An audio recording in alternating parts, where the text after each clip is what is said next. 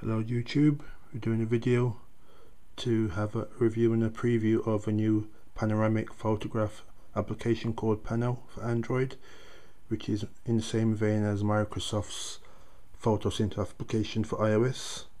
Um, hopefully this will cut the mustard in terms of being a, a suitable Android alternative. click the button. We're going to do a free image panorama and see how the application works. On your left hand side you will see the application keeps a little bit of the image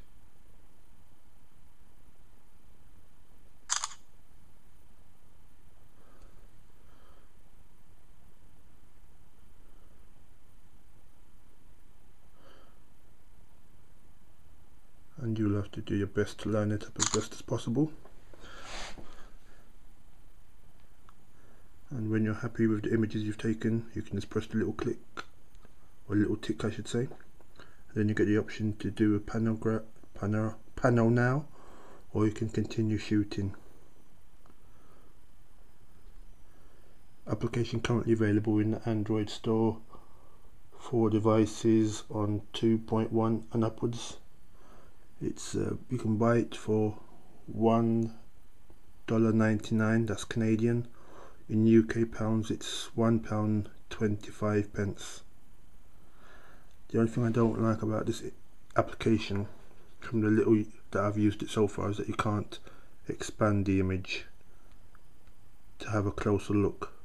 In order to do that you'll have to quit the application and go into the gallery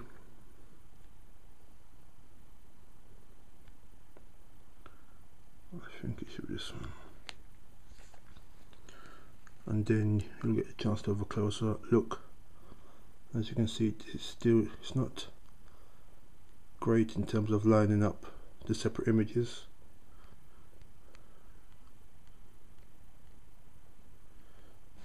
Especially there. So from far out it does look good but once you actually zoom in you can definitely see the joints. So that's the Pano application for Android.